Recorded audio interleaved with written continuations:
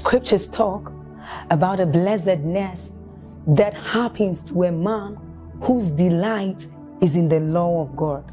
So, as 1 says, it says, But his delight is in the law of God, and doth he meditate day and night. He says that that man is like a tree planted by the rivers of water, whose leaves do not wither, and who bears fruit in every season. As you're about listening to this message, we believe that your life is going to be like that man planted by the rivers of water. Your leaves are forever going to bear. And we know that your, your season will not pass by. You will forever shine and you will forever bear fruit. We have a lot of content to share with you.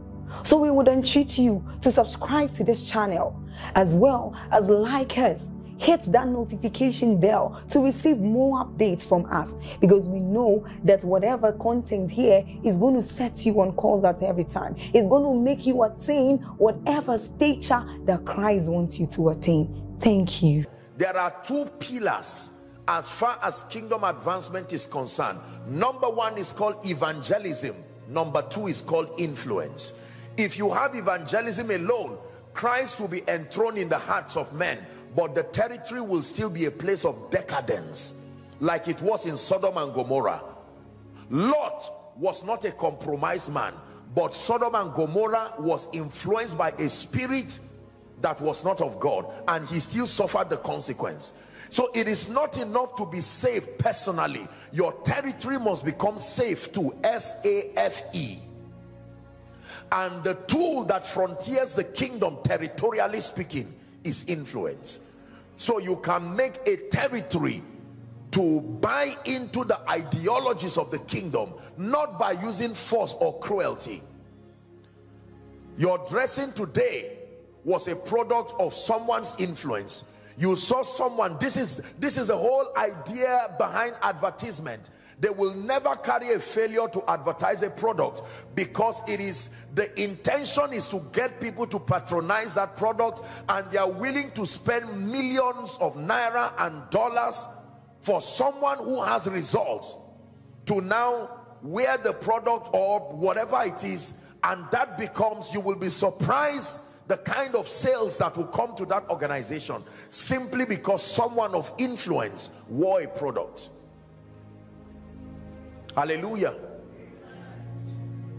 The songs we sing, the way we build, the way we dress, the way we live, the way we talk are largely products of external influences. And some of them we've not even met them. There, I don't watch football. I used to watch and play football years ago, but I had to sacrifice it for many other things. Praise God there are people called fans or fans of and and sometimes you pass a group of people who are arguing about football clubs and the zeal that these guys have you will be shocked and surprised and it looks as though they were in the same room with the footballers. I saw him. I know what i saw.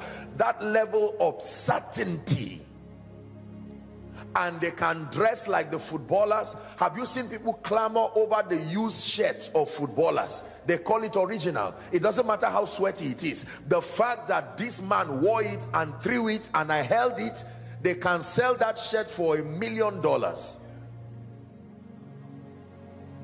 That is the power of influence. There are many people who used to behave well until they met an environment that began to plant in a wrong seed the first example of influence in the Bible, I don't have the time, but the first example of influence in the Bible was between the serpent and Eve. Hmm. the Bible says when God created man and woman, he gave them instructions that you can eat of the tree uh, everywhere, but that which is in the middle of the garden, you should not touch. And then the Bible tells us that the serpent was more subtle. That's how it starts that the serpent was more subtle than all the beasts of the field that the Lord had created and that he came to Eve we don't know how many times he kept coming to propose but he came with a proposal and said did God really say that in the day you eat of that fruit you will die He said, Certainly God said so. He said, Let me tell you something you don't know. God is insecure, He's hiding something from you. He knows that the day you eat of that tree, you will become like God, knowing good and evil. Then the Bible says, When the woman saw that the tree was good for food and that it could make one wise, she ate and gave her husband who was there with them, with her. Then the Bible says their eyes were open. Influence. There is no record of the serpent using a sword there is no record of the serpent tying down and say you must eat of this. Influence is very powerful. You can make men do things say things and be things even without physical contact with them. It then means that if we are to take over we must understand the spiritual technology that exalts us to a position where we can influence the mindset the thinking of a generation to become pro-Christ. Evangelism is the first step but it does not stop there. In addition to evangelism like we saw yesterday there are many people who will run to Jesus because someone they love and admire ran to Jesus there are many people who will run away from Jesus because someone they admire said Jesus was unnecessary. Every time I teach on influence I would always like to state this. Imagine if um, just for for discussion Michael Jackson ever shouted Jesus Christ is Lord. Even if it was a mistake he will win more souls than many crusades combined just for using his influence. He's been dead many years and still their records still sell today more than many businesses that have been laboring even in prayer. That is the power of influence. Are we together? The late dr Myles Munroe would say the world is still being ruled by dead men. The ideas of dead men is still what has kept living people trapped till today the philosophies that came whether governmental philosophies all kinds of ideas nations today have, have been impoverished because of ideas that came from people that are long gone. Hallelujah. I visited south africa many times and every time i'm there i'm amazed at the legacy that the late Nelson Mandela left for the people. He so influenced that nation to a point that respectfully speaking it, it, was almost as though if he were to be put in a class that is not human it would be better for you to offend someone than to touch and tamper with the legacies of Nelson Mandela. I remember one time I was told that when South Africa were trying to lobby I think to host the World Cup or something like that. There was all kinds of confusion and Mandela was sent to go to the place of the negotiation. As soon as he stepped there they all got up greeted him and that was the end of discussion. Can you imagine that? Influence. It is God's desire that you get to a place where your appearance is like the manifestation of God I'm not talking of human worship but that your life is so compelling you can make people to drop bad habits in a moment. Something about the dexterity of your life the quality of your courage will compel people to begin to make noble decisions. That just by the mere look at you many people begin to correct and reorder many things about their lives. If you're with me say amen, amen. influence. Now kingdom influence very quickly is built on four pillars. Kingdom influence is built on four pillars. Or kingdom leadership if you want to use that expression. Kingdom leadership is built on four pillars. You cannot be said to be a leader in the kingdom until your leadership is built on these four pillars. Are you ready now? Number one the first pillar upon which kingdom leadership is built on is called genuine love for God and men. Genuine love for God and men. Kingdom leadership is built upon this pillar. Genuine love for God and men. Let's look at a few scriptures very quickly. Matthew 22 from verse 36. Matthew 22 from verse 36. We're reading to 40. Let's walk together, media, so we can hurry up. Matthew 22 from verse 36 to 40. They asked Jesus and they said, Master, which is the great commandment in the law? Jesus responded by saying 37, we're reading down to 40. Jesus said unto them, Thou shalt love the Lord thy God with all your heart. Is that in your Bible? With all your soul and with all your mind. 38. It says, This is the first and great commandment. Next verse. The second is like unto it. Thou shalt love thy neighbor as thyself. And then it says, On these two hang the entire law and prophets. You know what that meant? That the very purpose behind giving all those laws was at an attempt to help you keep these two things. So every single law that was given in the Old Testament was a laborious attempt to bring you to a point where you love God and you love men. So in loving God and loving men you have fulfilled the law. Are we together? That on these two hangs the law and the prophets John chapter 10 please. From verse 11 to 13 John chapter 10 from verse 11 to 13 Jesus was speaking about kingdom leadership. And here's what he had to say. I am the good shepherd. He says the good shepherd giveth his life for the sheep. Is that in your Bible? It says but he that is a hireling and is not a shepherd whose own the sheep are not. He seeth the wolf coming and leaveth the sheep and fleeth and the wolf catcheth them and scattereth the sheep. 13 he says the hireling fleeth because he is a hireling and careth not for the sheep. This is true for ministry it's true for business it's true for government. That kingdom leadership at any level whether politically in the area of faith and ministry like we know in corporate life the moment you are talking about leadership from a kingdom standpoint it is predicated upon number one your love for God and your love for people. Please look up. If you do not love people and you claim you love God the Bible says you are a hypocrite it says how can you say you love God that you have not seen when you hate your brother? There are many preachers respectfully speaking that do not love the people they lead. There are many many many leaders heads of government across nations you need to see how politicians and business people discuss at the negotiation table. The interest of the people they lead is not there whatsoever. What is in need for me has become the language of leadership in our world and that must change. This is why summits like this have been put in place the bible talks about weak men who came to david in the cave of adullam men who were in debt men who were distressed. They were weak people. And david with compassion turned those people to become the mighty men of david.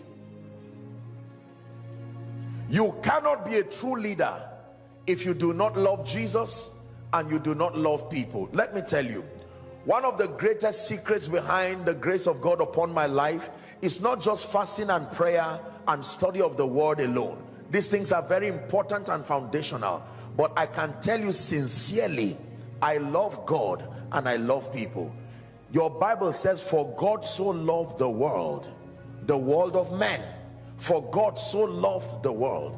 Jesus stood and looked at the people. There are two reasons two times Jesus wept in the Bible the first time he wept was in John chapter 11 from verse 35 he was at the grave of Lazarus and the Bible says Jesus wept.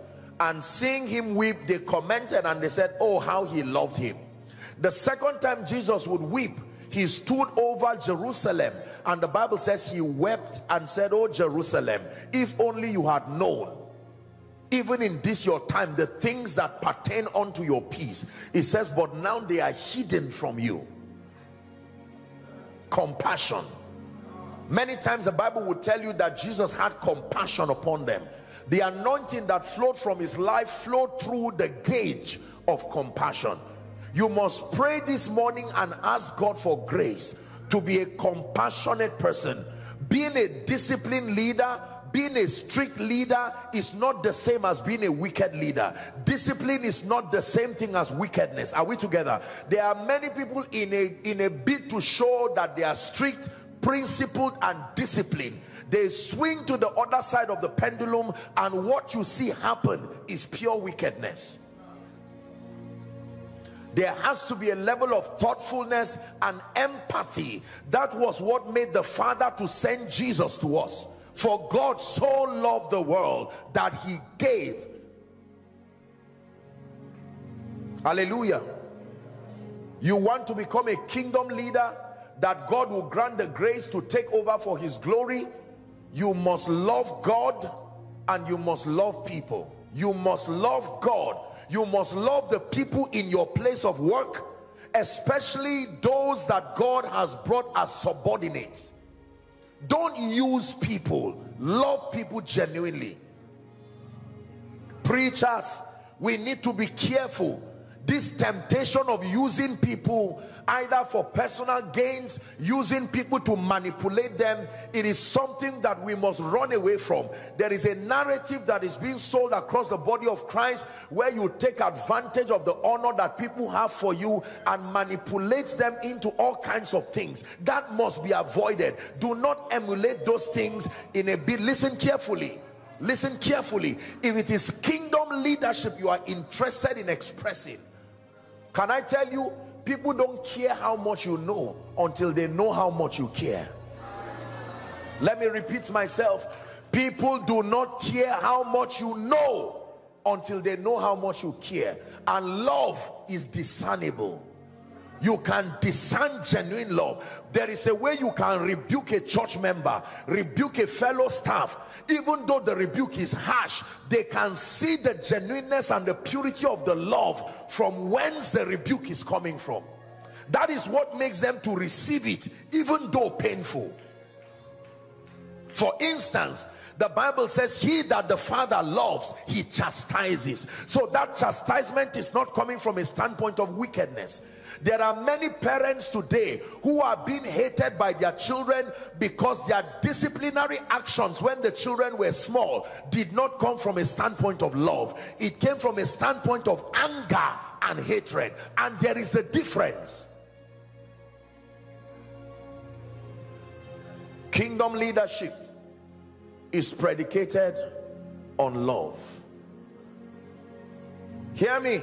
Let me put a balance very quickly love is not the same thing as carelessness to allow things go wrong there are many parents for instance who have refused to discipline and train their children properly because they feel that anything that puts a measure of strictness on the children is compromising uh, uh, their perception of love no. No. No. You must love people enough to want them to rise. You must love people enough to look beyond your reputation and see that what they need to learn they learn no matter how uncomfortable it is. There are many uncomfortable messages for instance, the one you heard before I just came, while I was listening to the man say this, I said, wow, this man has a lot of grace to be able to teach this because most times when you are teaching the truthfulness that is around giving, people just frown at you and it looks like you are. And I saw the confidence with which he was teaching and I said, truly, this man loves these people. Many people will consider their reputation above and beyond this. Is someone learning? The question I have for you is who have you loved enough to see him saved or her saved? Who have you loved enough? Parents have you loved your children enough to look beyond yourself and consider their well-being? There are many parents who can go around wearing clothes that are five times the school fees of a very good school for the child and send their children to schools that they don't they are not even learning anything. True leadership please hear me. Is predicated on genuineness of love. I love my people. I love God's people. I love the generation that God has sent me to.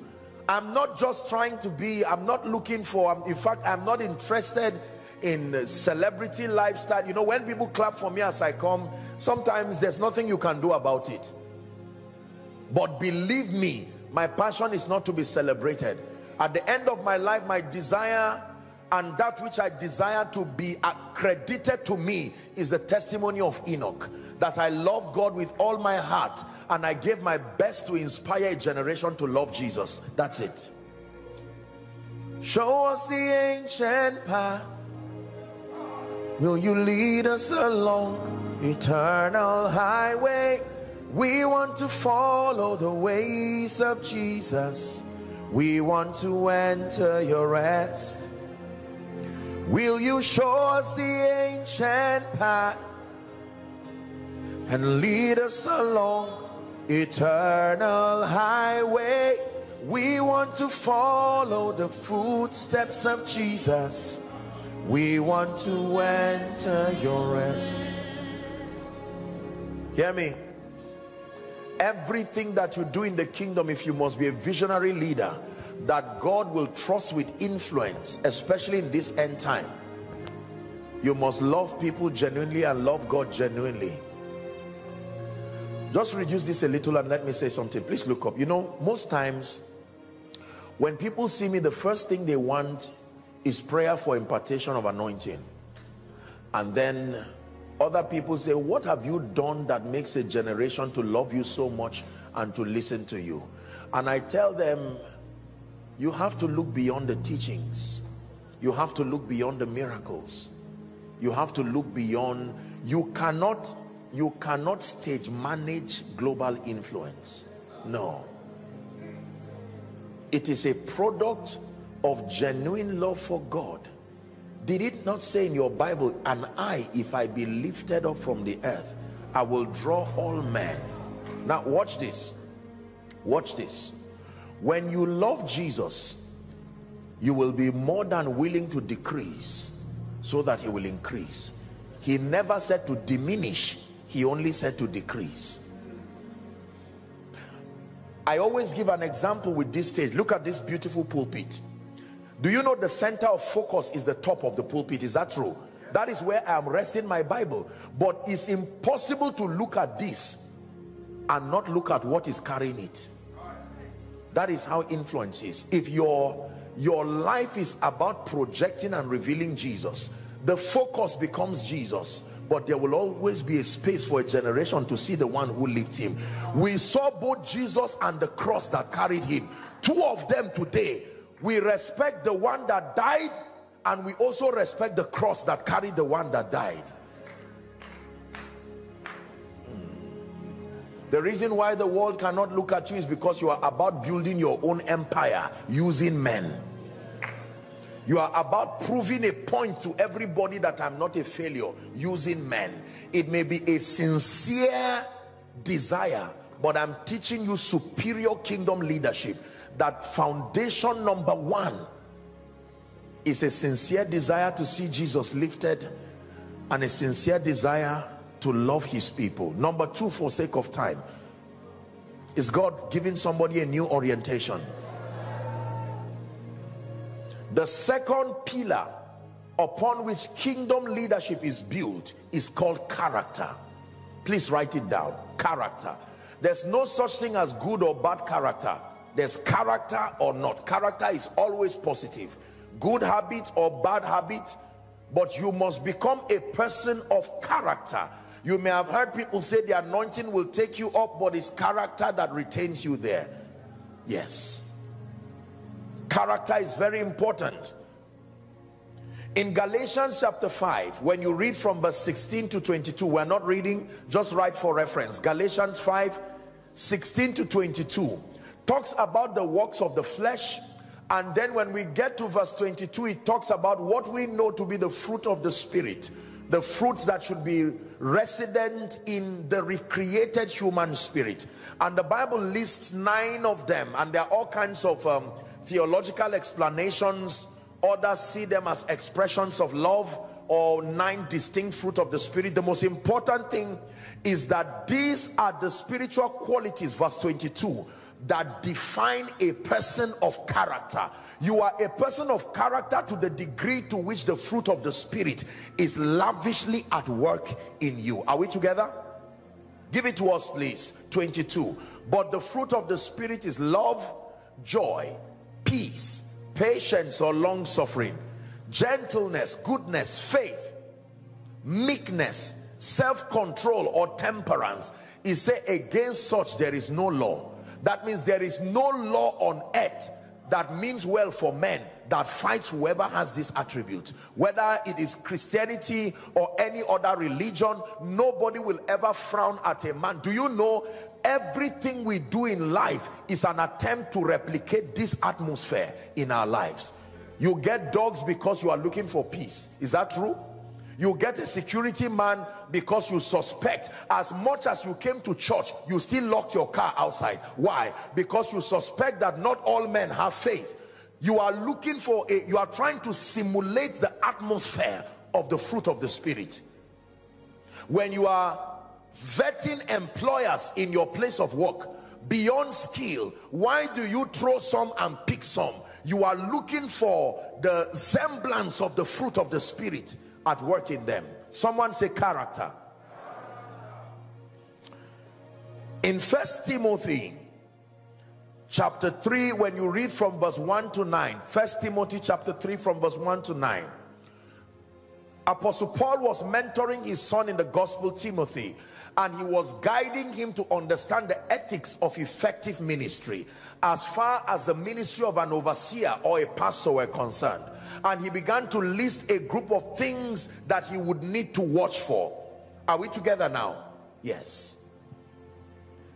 Character is not necessarily perfection but you see you are a person of character to the degree to which there is a level of dexterity in your life. When you are a person who is easily given to compromise you are not a person of character.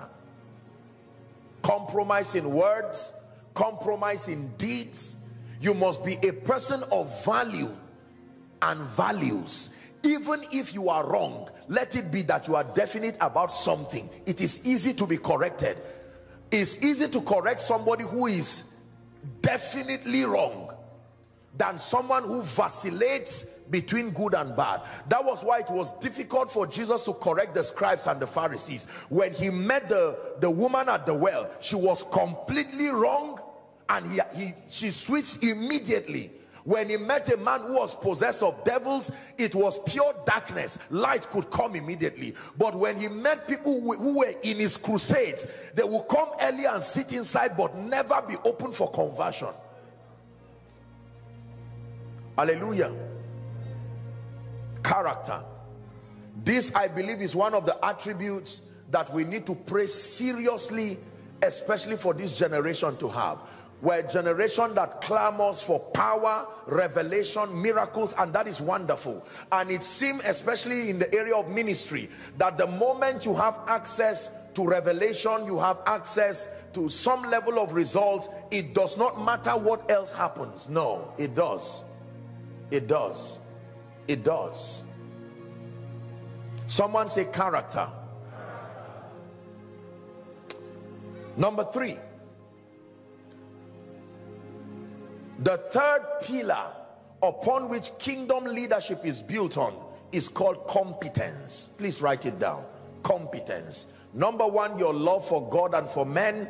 Number two character. Moral excellence. The quality of being a person of moral high moral standards. And then number three competence. Proverbs 18 16 the gift of a man makes room for him the bible says and bringeth him before great men. The gift of a man. You change that word gift to the value of a man that it is able to make room. You know what it means to make room to make room does not mean to show him where there is an empty room. There is no empty room for you anywhere. It is your gift that will push a space and give you a place in life and destiny. There are no empty lands not even in the bible. There are giants in every land even if it is your own. It will take something from you to dislodge displace and create a place for yourself. Please hear me. Believers if we do not press for competence remember my introductory explanation about leadership that is about deploying the gift and the ability that you have. This is where i need to charge the body of christ respectfully um, with every sense of gravity and importance because we have used spirituality as an excuse for mediocrity and incompetence it is only in the church that incompetence is tolerated indefinitely. Under the guise that the most important thing is God or the grace of God. So we ship every kind of incompetence. No. The gift of a man not the gift of a Christian. The gift of a man. Any man makes room for him bringing him before great men I made up my mind as a man of God that the only advantage in my life will not be the anointing. I should be able to communicate with non-Christians in an intelligent way, exporting kingdom values within a context that can lead to transformation, even national transformation. If you're a man of God here, let me charge you and encourage you. The pulpit is your constituency but not your only point of influence. If you can only be heard by christians you are not you are not really valuable. If your audience are only christians you are not valuable. A muslim should be able to listen to you and even though he may not accept your jesus he cannot deny the dexterity of your thoughts the applicability of the principles that you are bringing. This is what will give you an upper hand Are we learning? the Bible says, buy the truth and sell it not. Believers, in the name of Jesus, let the spirit of laziness live our lives forever.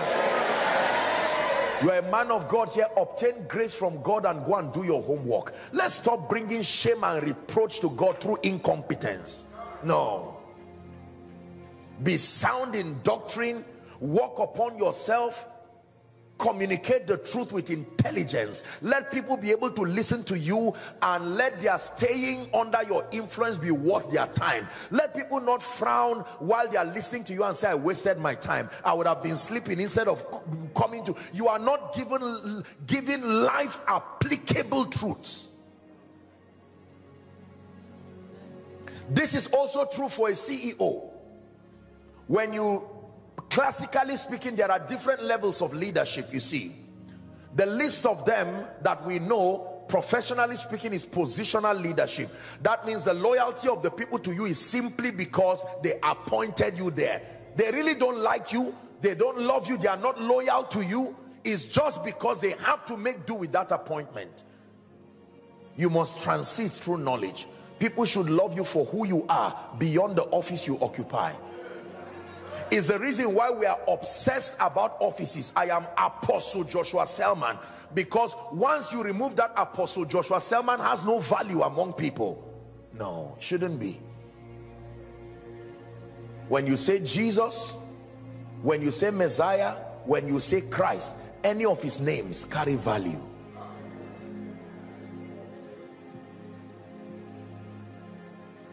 Is someone learning make up your mind to be competent as a businessman.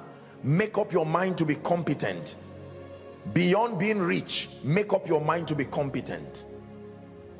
In genesis chapter 41 i wish we had time. The full text is from 33 to 46 this was joseph being called out of the dungeon by pharaoh. Remember pharaoh had a dream and his sorcerers magicians could not interpret the dream and they called this young hebrew boy called joseph joseph shaves and stands before pharaoh pharaoh now narrates the dream and joseph says well God will give Pharaoh an understanding of peace. Then he begins his interpretation.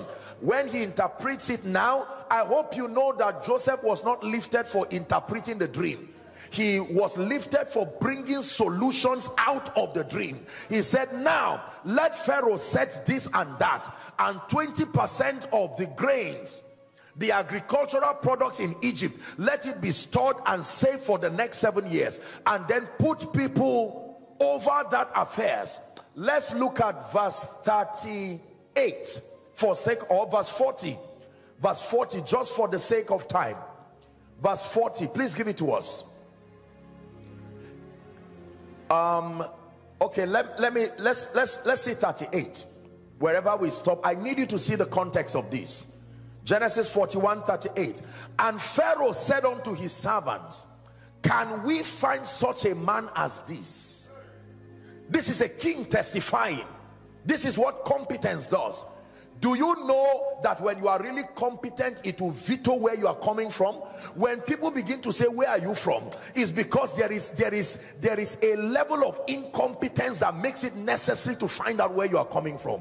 There is a level of value that can veto your background. You are too important to be ignored.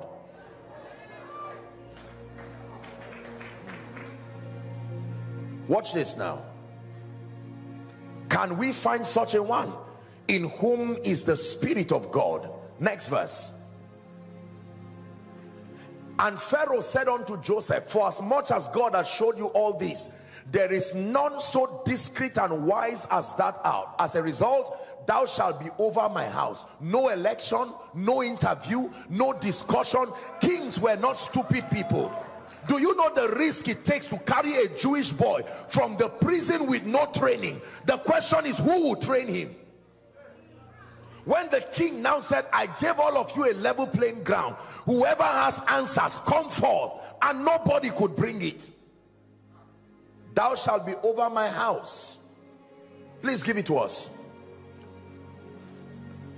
And according to thy word shall my people be ruled. What a risk. Only in the throne will i be greater than you. Next verse.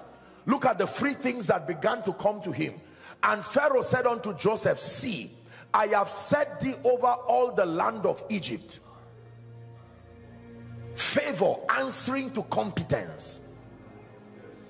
And Pharaoh took off his ring from his hand and put it on Joseph's hand and arrayed him in vestures of fine linen and put a gold chain about his neck.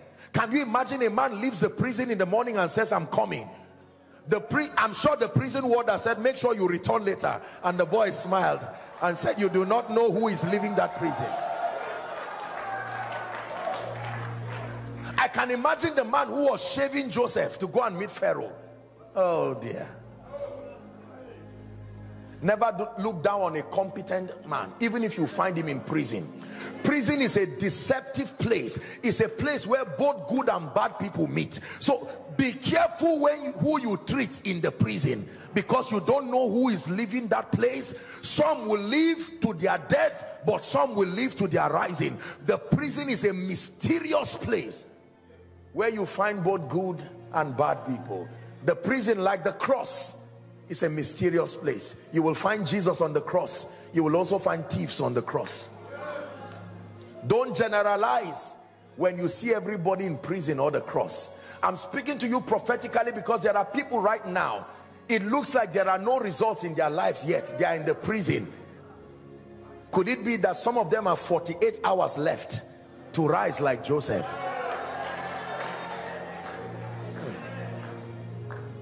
Is God giving you wisdom? Let's finish that scripture. Hmm.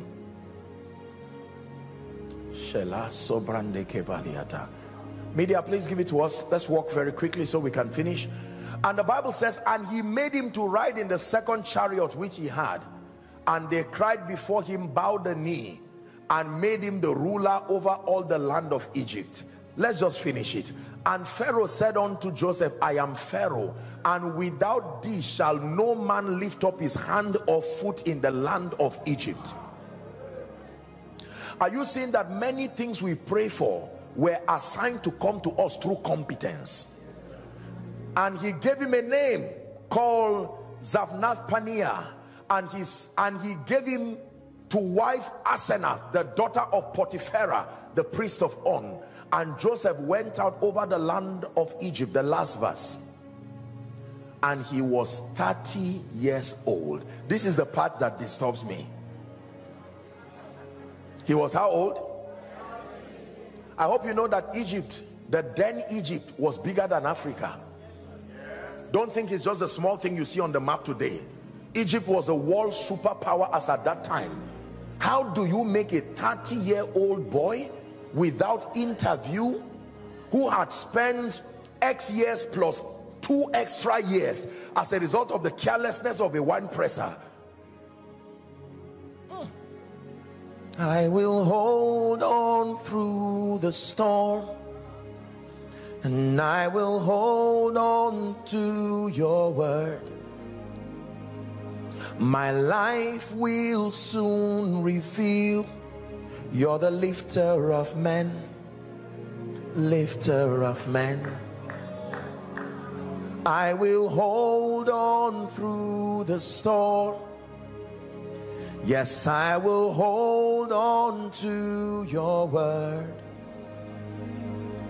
My story is about to change by the lifter of men, the lifter of men. Hear me. If you ever doubt that God lifts men, think again.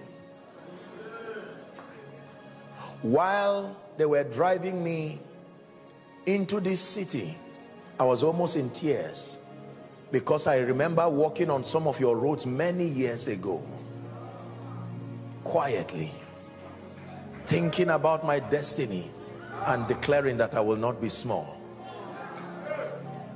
Maybe I pass some of you who knows? But no more. Hmm.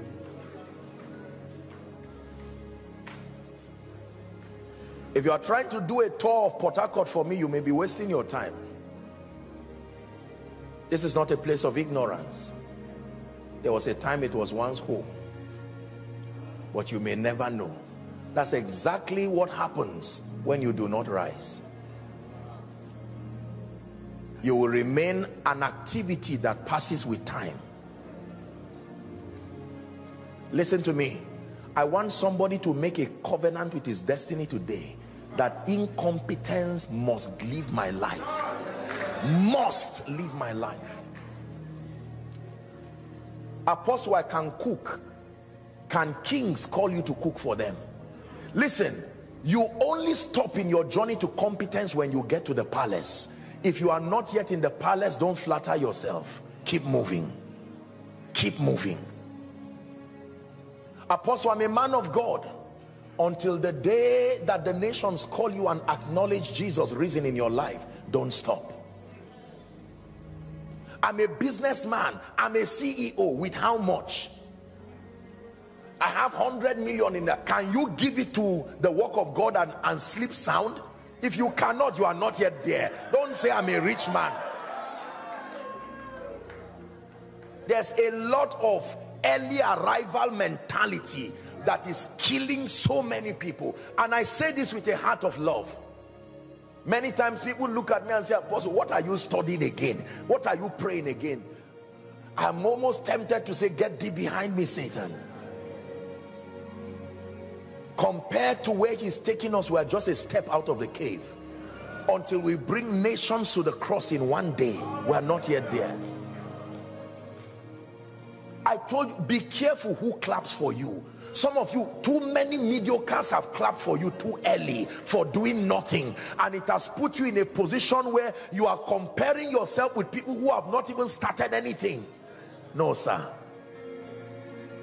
Is god speaking to someone? Who find somewhere to pray. But listen to me. You want to be a leader indeed. Nobody will follow an incompetent person. Pastor members will not come because you invited them. They will come because they are comfortable sitting under the leadership of an intelligent spiritual composed disciplined enlightened pastor that adds value perpetually to them. A wealthy man will not leave his house and make a fool of himself and come and sit down under your atmosphere for three four hours wasting his time listening to disjointed irrelevant information that is an insult to his pedigree. No there is a kind of light that brings kings. The bible says gentiles will come to your light but kings don't come to your light. They come to the brightness of your rising.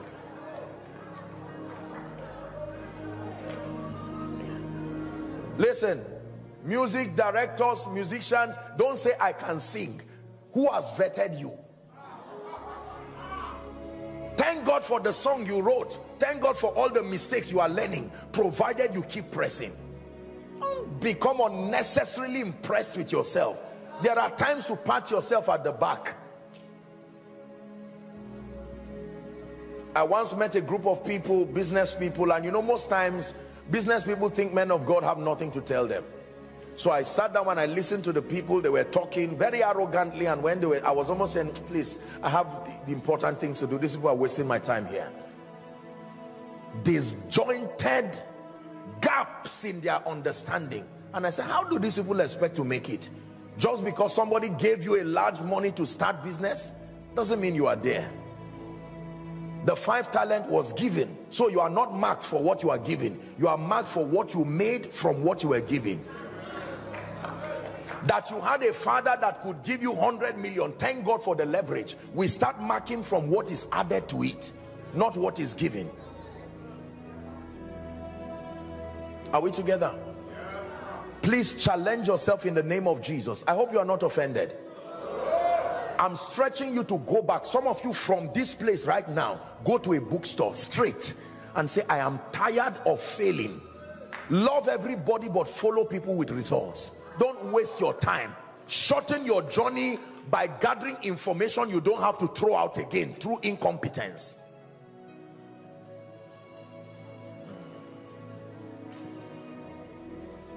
I love everybody, but I do not give my destiny attention to everybody the urgency in my destiny does not allow me to keep editing garbages I put in my mind and only to find out that what I call light was darkness so there are some them the Bible says to follow who through faith and patience have obtained not are obtaining.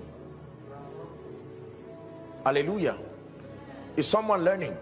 Say after me in the name of Jesus. From today I obtain grace to be competent. Say in the name of Jesus my world will see the glory of God that rises from within me. Amen God has called you to be the prof a prophet over the nations. Stay with God. Do your homework. Let something from heaven come upon your life. And when you stand up competition is only necessary to people who are at a level an average level. You see you don't queue in the air. You only have traffic on the ground. The difficulty of the plane is until it lifts because there can be traffic but once it lifts no matter how big it is the plane is there is enough space in the air.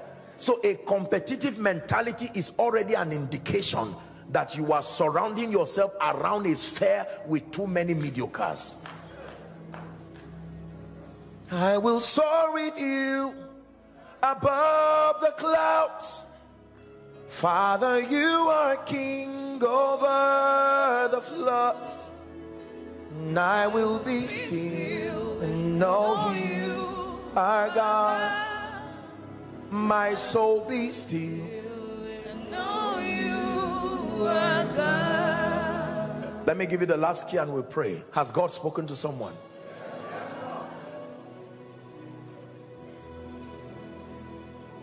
Hmm.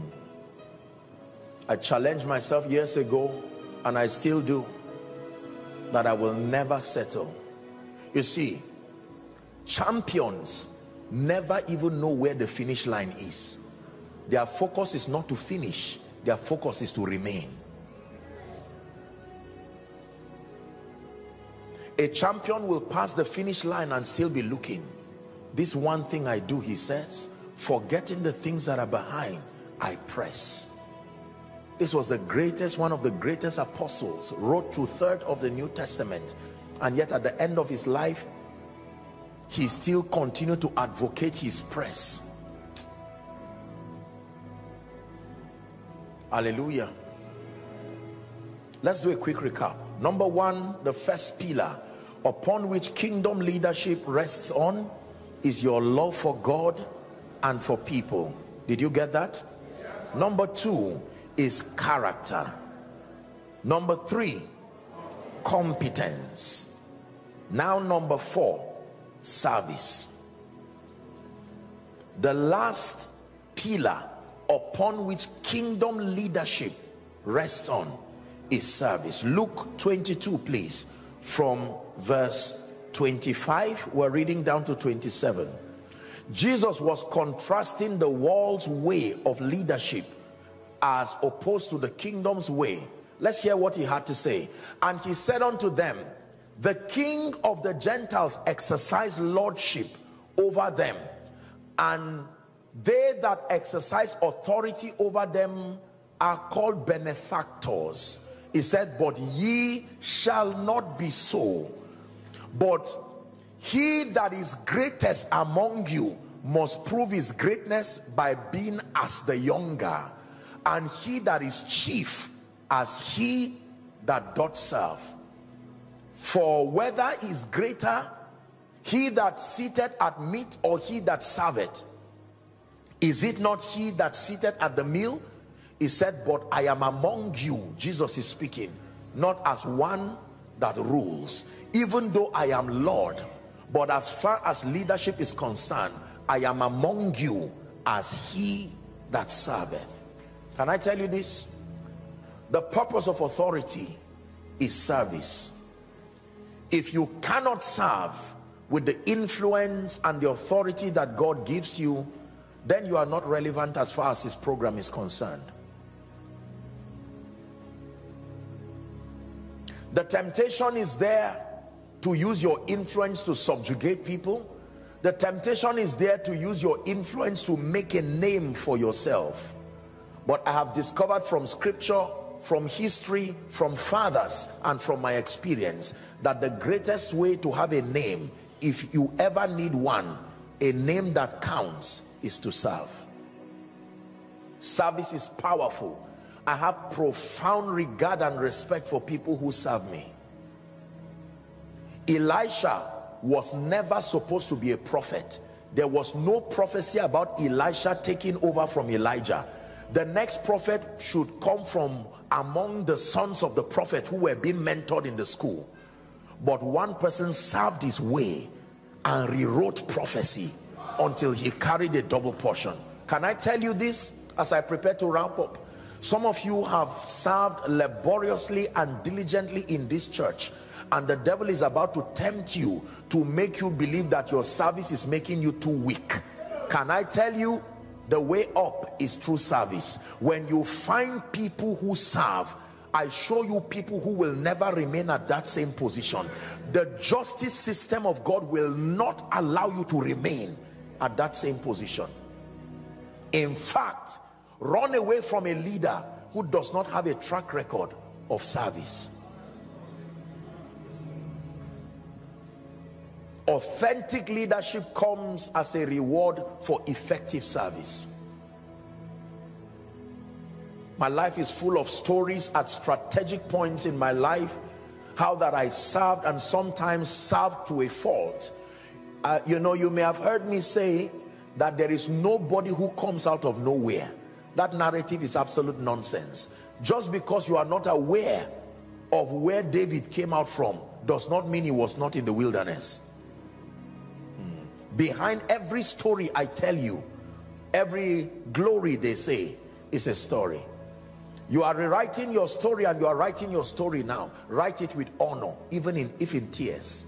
Write it with honor because someday what looks like a scar in your hand will become the symbol of honor.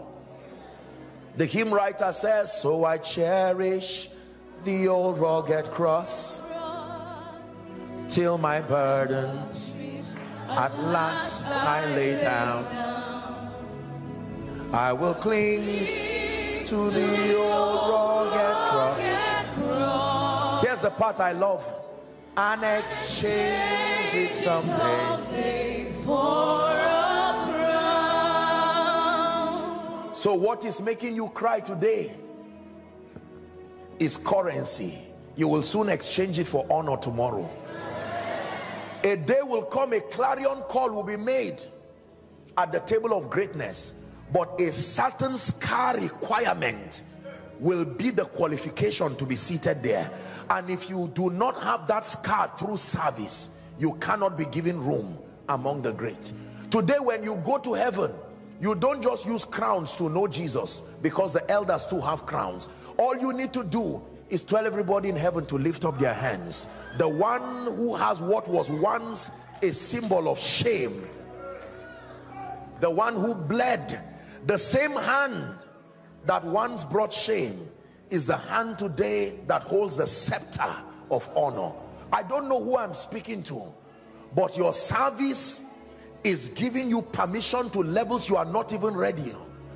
Young lady, many people are looking at you and saying, leave this church people. You will serve church and die here for nothing. You better resist the temptation of Satan to abort a glorious destiny that is still in formation. Nothing is excellent while it is still forming. As women who cook, when you look at the pot,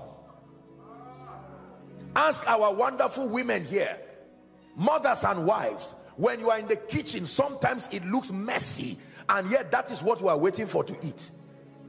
When you see the food while it's there you are cutting you are doing this the same meat you salivate over if you see it in a raw form you may not eat it again. Just because God is making you don't allow naysayers and ignorant people to abort something that is still in process. Anybody who sees you and say you don't look like it say God is still working Ah, is still working. Where is the husband you said you will get for serving in church? You better use common sense. Tell them God is still working. After working for many years it will be an insult for God to just give you a man. God will give you a nation in a man. Believe me help them please. I know what I'm saying my life is a testimony. God does not pay people every day but the day your reward comes. Ah. He will carry a man's lifetime and give you in a moment. Hallelujah. Eh, hallelujah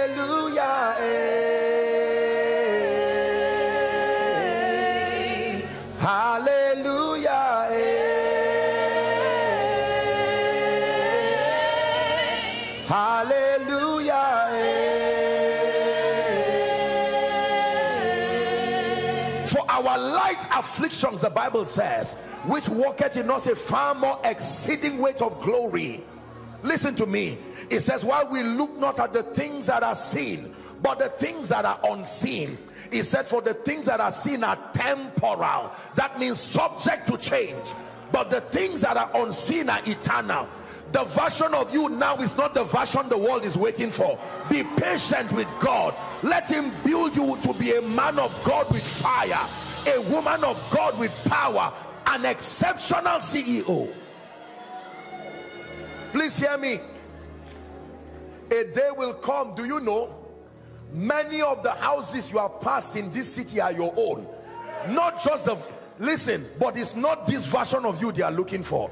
There is a version of you that will evolve. You will buy those houses like you are buying recharge card and it will not even be a testimony because you have risen far beyond that realm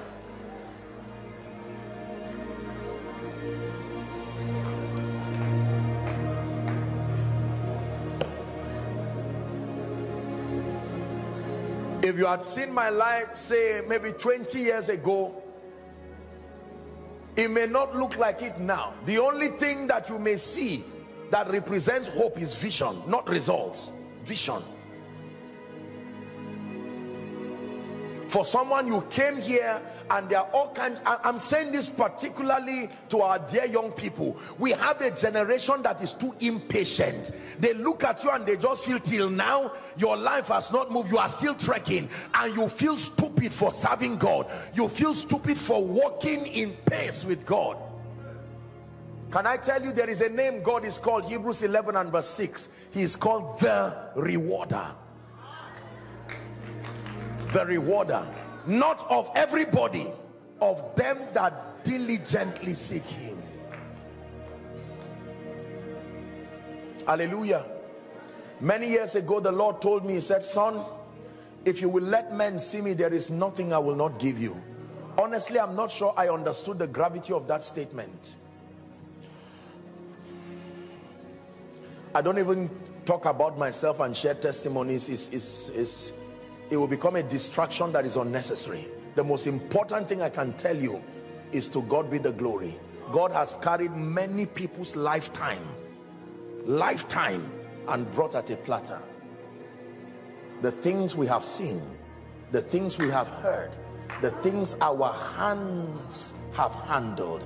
You are not learning cunningly devised fables. No I never imagined in my life that I'll be talking with heads of government across nations.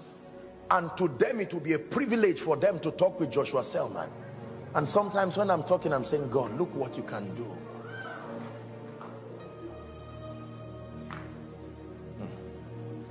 listen I have seen levels of honor and I tell you with all humility that sometimes it's not it's not very safe to begin to share with people as they rise but I have seen many great things in this life. I can tell you the benefits when you influence people. You've heard some of them. Most times I just repeat testimonies that I've said before so that it does not become a distraction. From one one giant one giant real estate company alone huh? Who entered a covenant with God that everywhere in the world they build an estate they must build a house for me. I don't even know how many of them are here now. I've not even gone I think just one of them. I don't know how many of them. I was in a particular nation years ago and when I was done on my way to return back the man of God called me and a group of business people were there and they said listen this is what there is a partnership between that nation and the American government this and that there is an estate. We decided to give you five properties. From that time till now i've not gone there to check what has happened. I don't say these things to brag. I hope you get to the point. Yes. hallelujah. A day comes when you yourself you become you don't just give value you are the value yourself. One of the blessings that God promised Abraham was I will make your name great. You know what it means by the time your name is great many people can leverage on the name and be great too. If you are great alone and your name is not great it dies with you. That is the tragedy of Africa. Children cannot use the name and the leverage of those before them to rise. When you hear McDonald's today it's a great name. Anybody can ride on that name and rise. But for us here somebody will rise and be great and die and everybody behind him will have to pay the price for all the battles he didn't fight then start from ground up again he said i will make your name great that is influence today the top three religions across the world all came from one man. One man. All of them from one man. Hmm.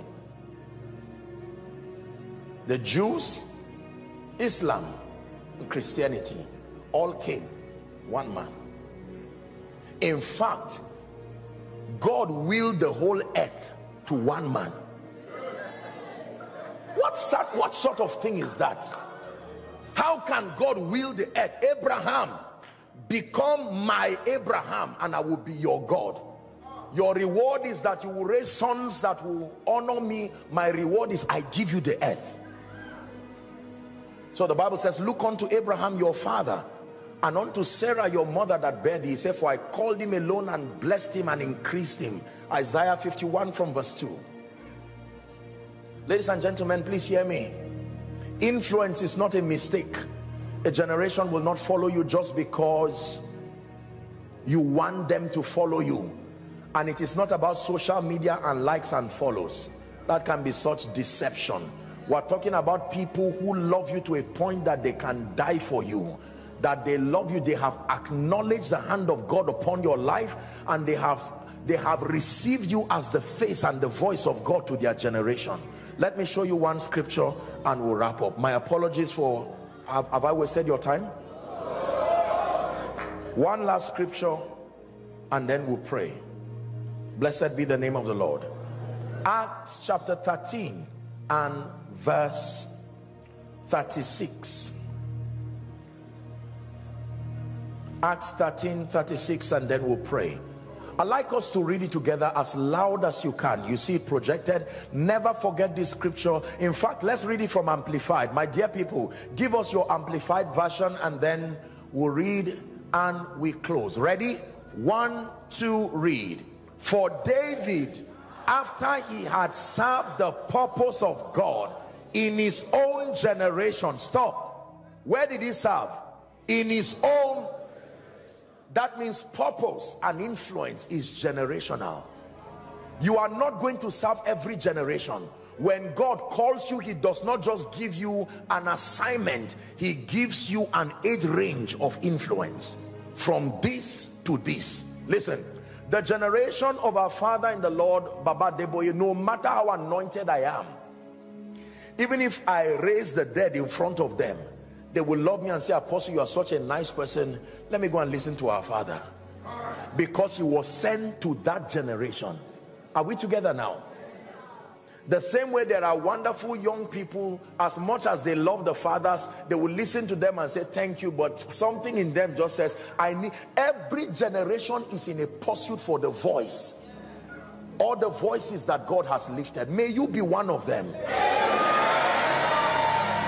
that when there is a prophetic roll call where are the voices apportioned for this generation? Let it not be that your bishopric another will take because of carelessness and insensitivity. This is what is, is at the heart of the intercontinental pastor to see how you can drive people to be relevant. Influence is about communicating the purposes of God as apportioned to your generation I made up my mind. I do not have the intention and the ambition of doing everything, for that will be foolish. But as far as the context of my generation is concerned, that we will shine the light and it will be so bright. It will be said that by the privilege of God's grace, during our time, we were able to do the much that we could do for His Majesty. This is my drive. This is why I wake up. This is why I sleep. This is why I travel. This is why I do everything that I desire to do. My call for you as I depart your city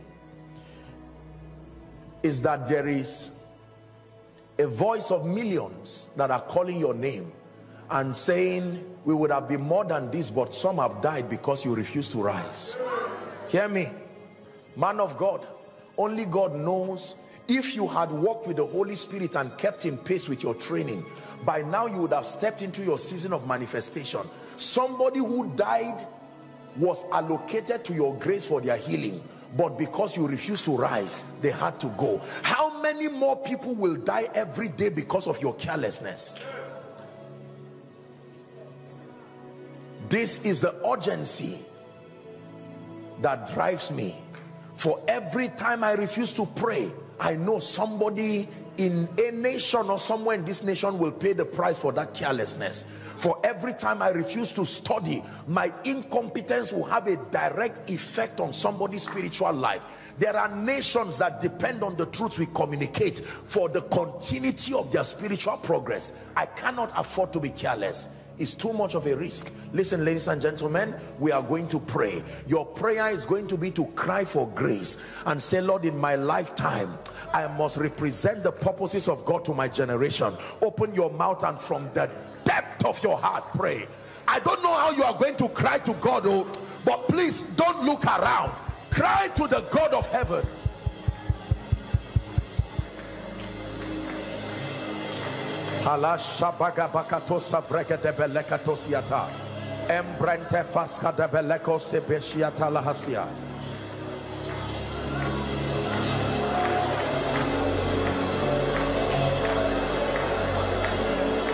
Let it be from the depth of your heart.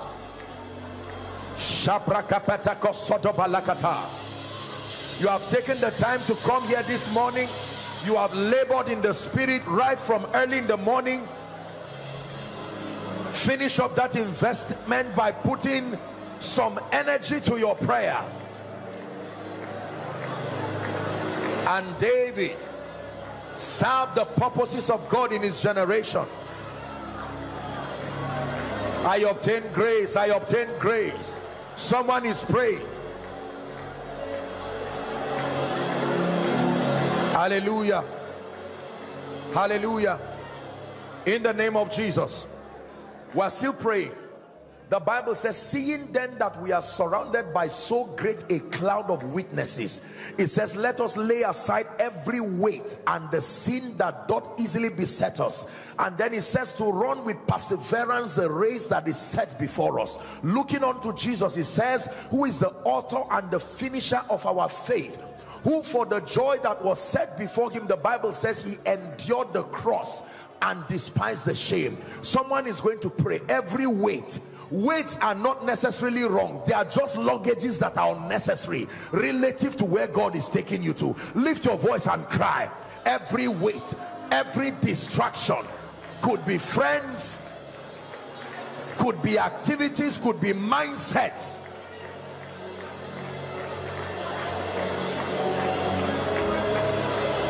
Shapakatos kaldebrende geberekatos yata.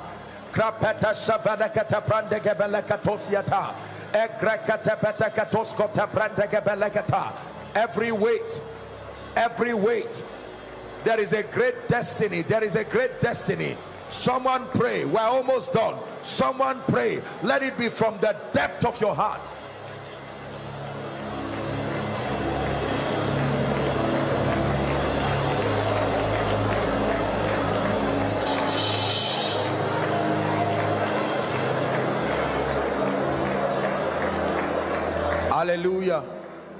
Hallelujah.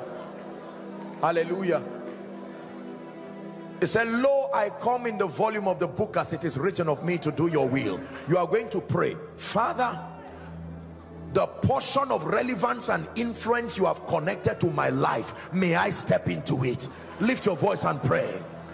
The portion of influence, the portion of kingdom relevance allocated unto me he gave unto one five talent he gave unto one two to another one but he gave everybody something. Pray. Regardless your background my dear brother my dear sister this God is able to lift men. Pray.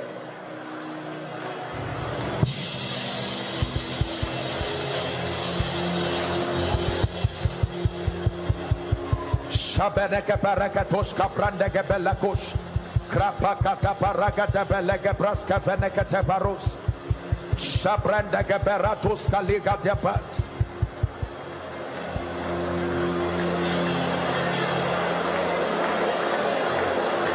Commanding kingdom influence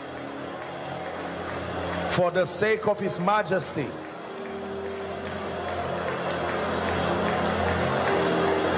Hallelujah. For in Jesus' name we pray.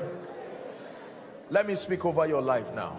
You will be surprised to see what happens to your life after today. I'm on my way to better days. That will be your song. I'm on my way to better days. Regardless your background, you're on your way to better days. You're on your way to better days. Hear me. Ladies and gentlemen, please listen. The assignment of the prophetic, among many other things, is to grant you access to the grace that will help you to rise to that place of destiny. For you see, it is not given to you to honor yourself. You can respect yourself, but honor is conferred upon you by another. I'm looking at people here this morning. Some of you have come from backgrounds like Nathaniel said about Jesus. Can anything good come out of Nazareth? Sincerely speaking, there are some of you, if we are to be honest, to analyze demographically speaking, there is no advantage in terms of your earthly connection. You will need to outsource help from a dimension that is higher than your background. Please help those under the anointing because I want to pray. Something is about to come on you. This is my last assignment, and then you leave. We do not just rise in this kingdom.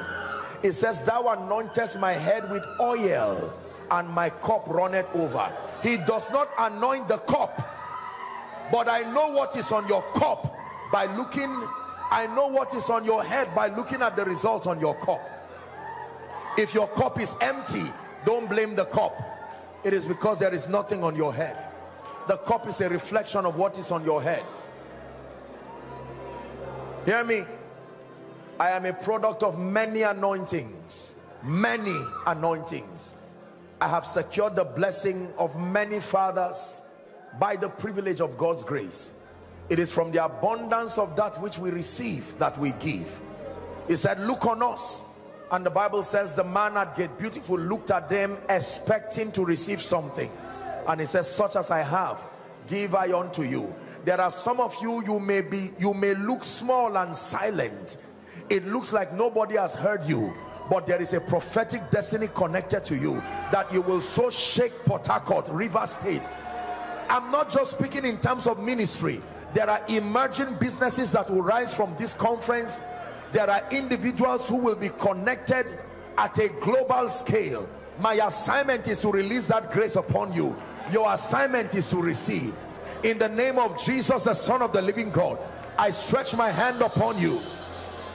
I'm releasing this grace the grace that causes nations to hear your voice. Receive that anointing right now. Take that grace right now. Take. Take that anointing right now. Receive that grace. Receive that grace. Take that grace now. Receive that anointing in business, in ministry. I release that anointing upon you now. I release that grace upon you now. Hear me. The Bible says and the king sent for Joseph and they brought him out of his dungeon. I don't know who is the helper of your destiny but I want to call them by prophecy. I speak to Rivers State. I speak over the South South. Everyone mandated by God to hold your hand in this season. Receive an anointing that attracts them to your life.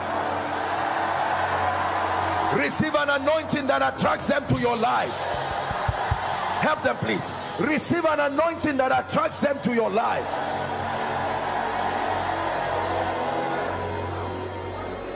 Esther chapter 2 and verse 15 the Bible says and Esther obtained favor in the sight of all them that looked upon her. Verse 17 the Bible says she the king loved Esther more than all the virgins Exodus chapter 3 and verse 21 and I will give these people favor in the sight of the Egyptians. And it shall come to pass that as ye go ye shall not go empty. Emptiness has an explanation. In the name of Jesus may this grace for favor rest upon you. Let it rest upon you upon your business upon your family upon your ministry hallelujah. Hear me. There is a grace for visibility. Neither do men light a lamp and put it under a bushel. He told abraham he said from where thou art lift up your eyes. You can look from where you are. You don't need to go anywhere. From where you are your hands may not get there. Your feet may not get there but your eyes can go there. From where thou art he said lift up your eyes and look northwards southwards eastward that everywhere your eye sees to you I have given us an inheritance. I want to pray for the grace to be visionary because you see vision is more than a psychological thing. It takes the spirit of God opening your eyes to see Habakkuk said I will stand upon my watch and set myself upon the tower and I will see what you will say unto me. In the name of Jesus may your eyes be open to see.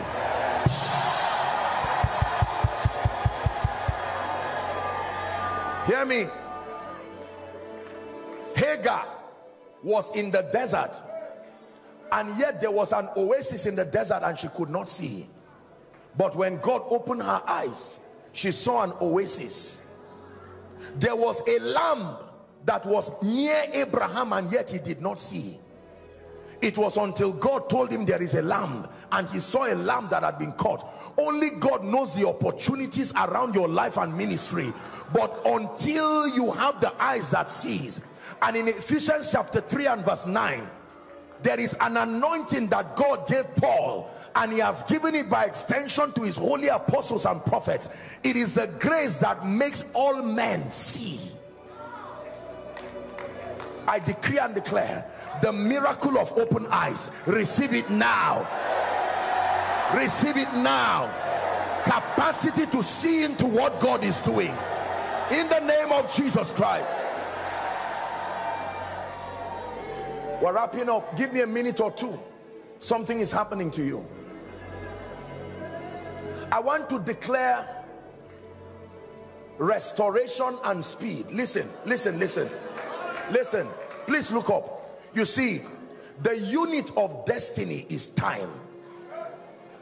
The unit of destiny is time. Hear me. Anything that takes your time has taken a portion of your life. Anything and one way that the devil aborts great destinies is to make you waste time through a mystery called delay. You know what delay is? Delay happens to you when the only thing growing in your life is your age.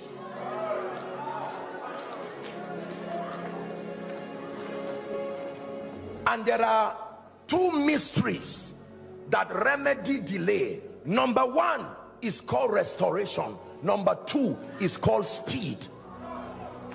When God wants to help you as far as the matters of destiny is concerned he will allow these twofold mysteries to be at work in your life. The mystery of speed and the mystery of restoration.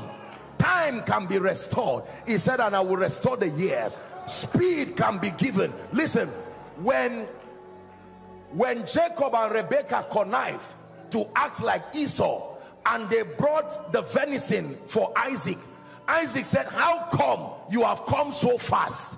You are not supposed to have arrived by this time. And he said the Lord had shown me mercy. Let me pray for someone. In the name of Jesus Christ I decree and declare by the power of the Holy Spirit everything that has left you that is not supposed to have left. I stand by the mantle of the apostolic and the prophetic. Receive restoration now. Receive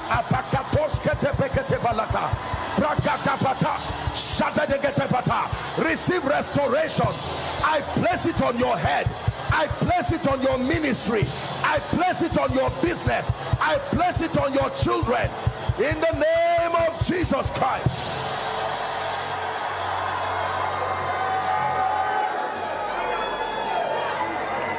I declare speed. And the hand of the Lord came upon Elijah and he ran and overtook the chariots of Ahab even down to Jezreel. I pray for you. May God take 10 years and put it in one year. 10 years. Help them. 10 years in one year. I prophesy speed. Receive that grace. I place that anointing upon you. 10 years in one year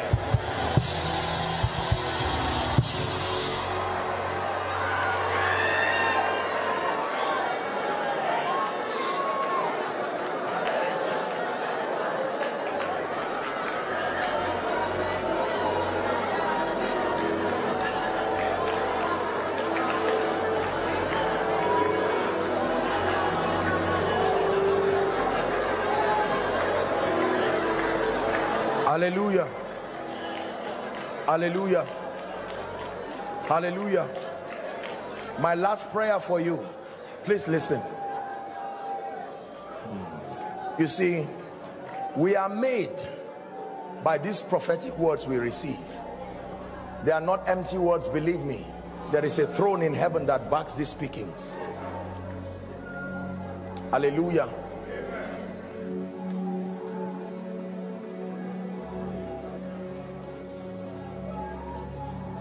I want to speak finally over your life and release upon you the grace for honor. Look at me. You know what honor is? Honor means to be acknowledged and rewarded to match your true worth. That means it is possible to be perceived less than your true worth. Is that true? When the grace for honor is upon you, it mandates that men acknowledge and reward the hand of God in your life to match the degree of your sacrifice. This is what many people lack in their lives. They do not lack value, they lack honor. He said, because thou hast loved righteousness and hated wickedness. Therefore God, is that in your Bible? Even my God hath anointed you with an oil of gladness that makes you above your fellows. Joshua was already full of the Holy Ghost and the Lord instructed him in Deuteronomy. It says thou shalt take Joshua the son of Nun in whom is the spirit and thou shalt lay your hands upon him. And then it says thou shalt take some of your honor and give unto him so that the nation of Israel will hearken to him. Please look at me.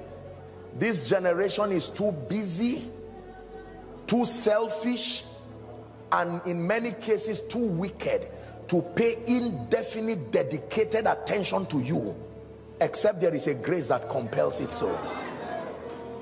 Do not ever think except you are you want balloon success where you are up today and anything that happens you are down in shame tomorrow. There is a grace that lifts men and keeps men. Hmm.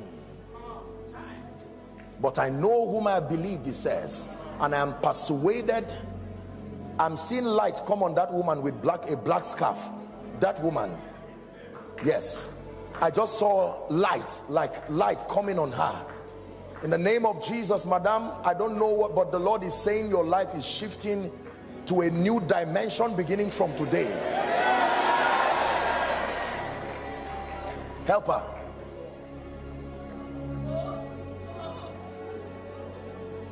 honor is a grace. That is the grace that will compel kings. Jesus had that grace even as a baby.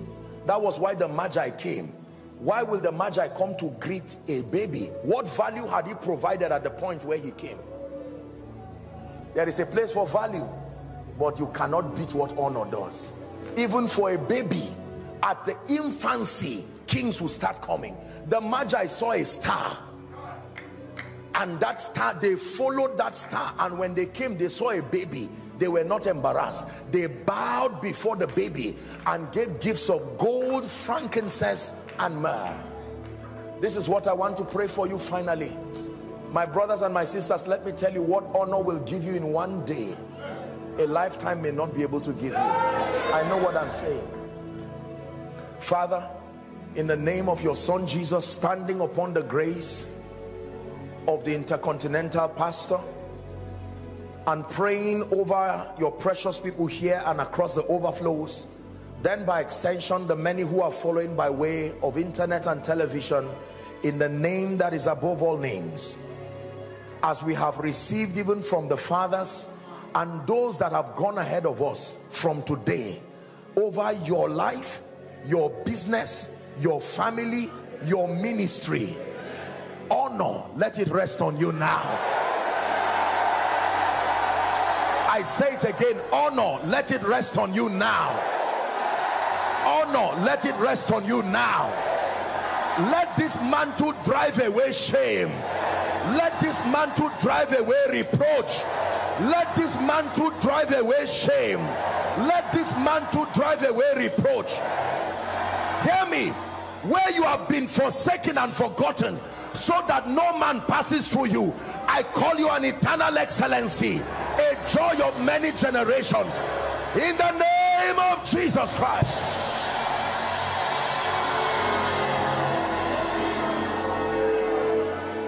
May the Lord bless you.